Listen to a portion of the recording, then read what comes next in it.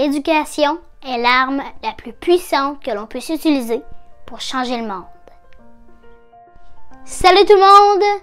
Cette citation de Nelson Mandela m'interpelle particulièrement, car aujourd'hui, je désire dédier cette vidéo à une grande dame qui m'inspire, que j'admire et que j'apprécie beaucoup.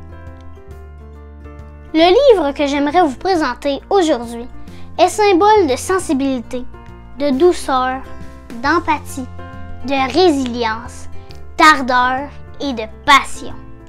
Toutes des qualités qui représentent la carrière et les projets innovateurs de Mme Sylvie Labrèche, directrice des services pédagogiques au CSDCO, qui prendra sa retraite à la fin de l'année scolaire.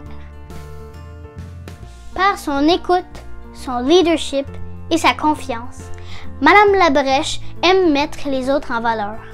Entre autres, dans les deux dernières années, elle a cru en moi et mon projet personnel d'entrepreneuriat, ma chaîne YouTube Lecture en Lumière.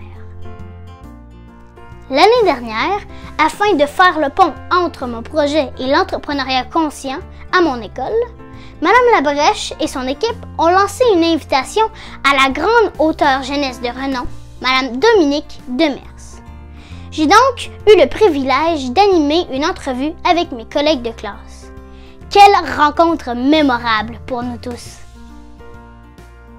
De plus, c'est également Madame Labrèche et son équipe qui m'ont donné l'occasion de briller lorsqu'elles m'ont invité à titre de maître de cérémonie au congrès ID 2024 qui s'est déroulé en avril dernier. Cette expérience inoubliable m'a motivé, m'a donné des ailes et m'a fait grandir.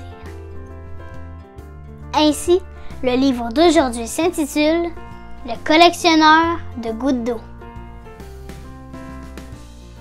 Ce livre, publié aux éditions de la Bagnole, a été écrit par M. Gilles Thibault et illustré par Mme Oussama Mézère, d'après l'idée de Yuna, une élève de Claire Dion de l'école Élan à Montréal. Le collectionneur de gouttes d'eau raconte l'histoire du jeune Momo et de son ami Lulu qui collectionne des gouttes d'eau provenant d'une variété d'endroits. Ils en recueillent tellement que la maison se remplit de petits pots.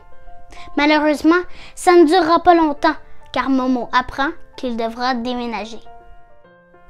Ce dernier est bien triste car il constate qu'il ne pourra pas apporter avec lui tous ces petits pots de gouttes d'eau qui sont empreintes de signification pour lui.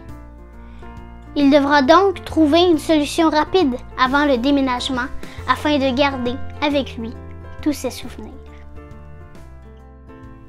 Voici un petit extrait. Lorsque je vais à la campagne, je collectionne d'autres gouttes d'eau dans d'autres petits pots. Une goutte qui jaillit du ruisseau, une goutte qui glisse d'une feuille d'érable, une goutte qui tombe d'une toile d'araignée. Au fil des semaines, les pots s'additionnent sous mon lit et sur mes tablettes. Lulu me répète souvent Momo, si tu continues comme ça, tu vas devenir le plus grand collectionneur de gouttes d'eau du monde entier. Encouragée par Lulu, j'emprunte des pots à tout le monde et je cueille des gouttes partout. Sous mon parapluie, sous les autos, sous le nez d'un chien, sous un parasol. Au fil des mois, les pots s'additionnent sous mon lit, sur mes tablettes et dans ma garde-robe. Youpi! Bientôt, j'empilerai les pots dans le salon, dans la cuisine, dans le sous-sol et dans le grenier. J'aime beaucoup ce livre, car, comme le jeune Momo, Madame Labrèche partira à la retraite avec des milliers de gouttes d'eau amassées au fil des années. Celle-ci est comme un pétale de fleurs qui se détache pour le CSDCO et pour la pédagogie entrepreneuriale consciente.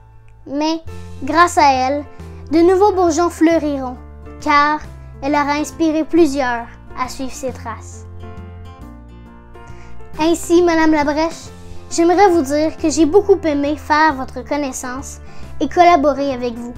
Ce fut un réel plaisir de pouvoir partager notre passion pour nos projets communs. Je voulais vous remercier du fond du cœur et je vous souhaite de continuer de collectionner encore plusieurs coups de Avant de vous quitter, Je vous invite à aller voir la description où j'y ajouterai un lien vers le site web des éditions de la Bagnole ainsi qu'un lien vers un balado avec Madame Sylvie Labrèche. Enfin, bonne retraite Madame Labrèche, en espérant que nos chemins se croiseront à nouveau un jour.